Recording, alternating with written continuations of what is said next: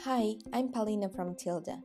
In this video, I'm going to show you how to add and customize maps on Tilda. I've prepared a page for a music festival. Let's add the interactive Google map to help our visitors to find the location. The steps are almost the same for all blocks with the map. I'll be using block number T143 from the section Other. By default, you will see the mark for development purposes only on your map. It means that the API key is missing. According to Google Map policy, one should have an API key to use the map. Let's open the menu Content in the top left corner of the block and find the field Map API Key. I've got the API key prepared in advance, but you must get one for yourself from Google Cloud Platform. I'll show you how to get it later in the video. The guide on the API key and the link to the Google Map platform are always available on the top of the content section. You can also find these links in the video description. Let's save changes and check the result. If you want to zoom the map in or out, you can do this by adding the number here. In my case, 16 will be enough, I think. Let's save changes and take a look. Let's add a geographical point. Title marker is a text label next to a pin on a map. You can replace text with your own. Let it be Summer Stage in Central Park, New York. There are two ways to add your location on the map. You can either fill in the latitude and longitude fields or search the place directly on the map as you would normally do while looking for a cafe, for example. I've prepared the coordinates, so I simply paste them here. See the steps to find location's coordinates under this video.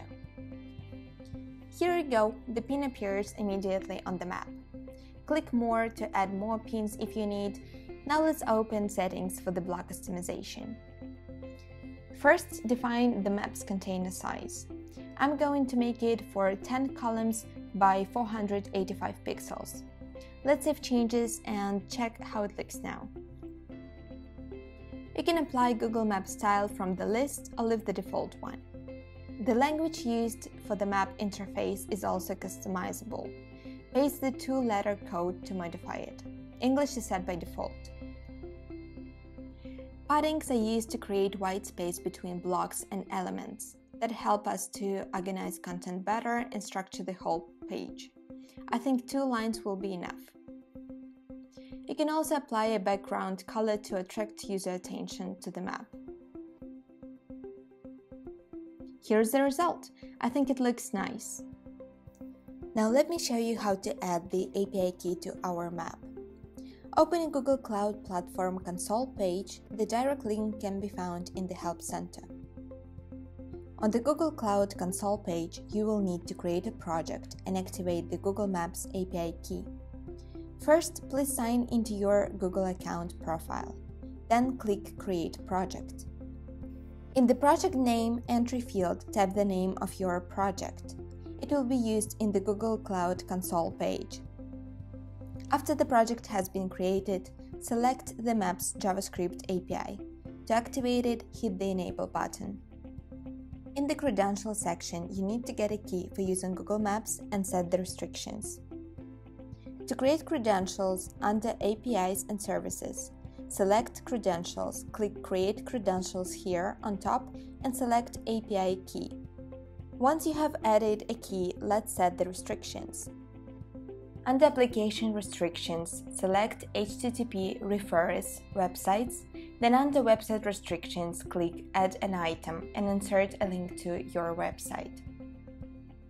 In the API restrictions section, apply the key restrictions. Select Maps JavaScript API. Save changes. To complete the process, you also need to create a Google Billing account and enter your payment card details. You can find all information how to create a billing account in the Help Center.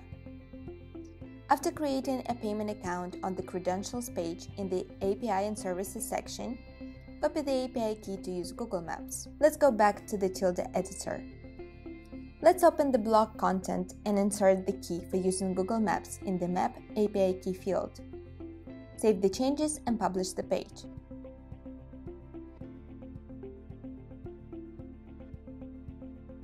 Done! Thank you so much for watching.